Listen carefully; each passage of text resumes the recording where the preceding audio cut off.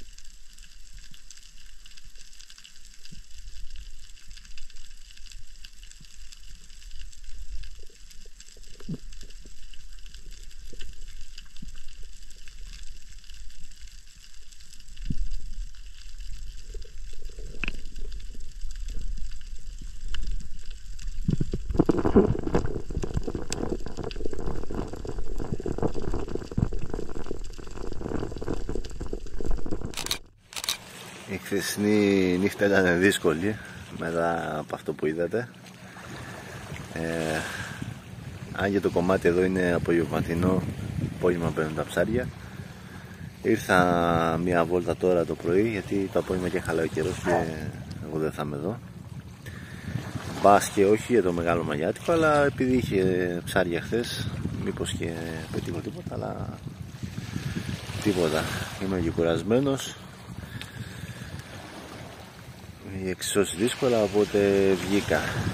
Όσο για το χθεσινό ήρθα εδώ απόγευμα επειδή ξέρω ότι μπαίνουν τα ψάρια εδώ απόγευμα. Για συναγρίδες έχω να πω στο εκεί στη φυκιάδα που είδατε που είχα δει συναγρίδες. Ήταν τα μικρά μανάλια. Εντάξει καλά στο είπα και αυτόν καλά τα λέμε. Δεν θέλω εσάς θέλω τον παππού σας.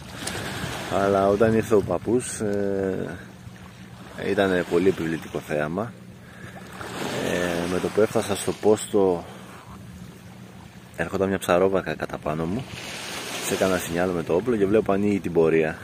Το μεταξύ φτάνοντας είδα τα μικρό ψάρα και τρέχανε προς τα έξω. Οπότε λέω πριν έρθει η ψαρόβαρκα να κάνω μια βουτιά ότι είναι αυτό που κυνηγάει πως το προλάβω.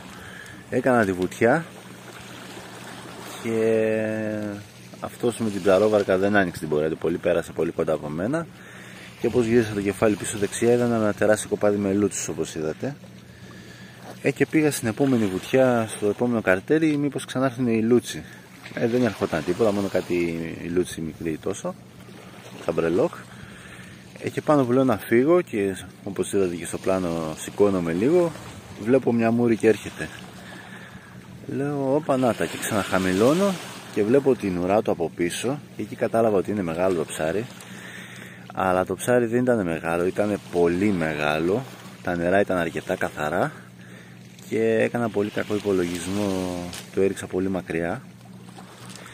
Και έτσι η βέργα ίσα που το έφτασα άμα δείτε η μπετονιά στο πλάι δεν φαίνεται καθόλου το όπλο. Έχει τεντώσει, έχει πάρει όλη την μπετονιά και τα πέντε μήκη. Ε, συν ένα 50 που είναι η βέργα ίσα που το έφτασε το ψάρι και το βρήκε κάτω στα σκληρά έκανε ένα ντεμαράζ, έφυγε προς τα μέσα και πολύ εύκολα την πέταξε τη βέργα από πάνω του. Ε, εντάξει λογικά θα ζήσει δεν νομίζω να πάθει τίποτα. Αλλά κρίμα ήταν πολύ, πολύ μεγάλο ψάρι ήταν τεράστιο, έχω δει μαγιάτικο 20-25 κιλά. Αυτό καμία σχέση ήταν, ήταν τεράστιο ψάρι. Δεν πειράζει. Όπως λέμε στο Jiu-Jitsu δεν υπάρχει ήττα. Ή κερδίζεις ή μαθαίνεις. Μάθαμε κάτι εντάξει ήταν μια εμπειρία άσχημη, άσχημη δεν είχε την κατάληξη που θέλαμε αλλά ήταν μια πολύ καλή εμπειρία όμως. Πάμε στα επόμενα. Πάμε να αναμαζευτούμε να συγκροτηθούμε να τσεκάρουμε όπλα, εξοπλισμό, τα πάντα να είναι στην εντέλεια. Και πάμε για τα επόμενα. Τα λέμε φιλαράκια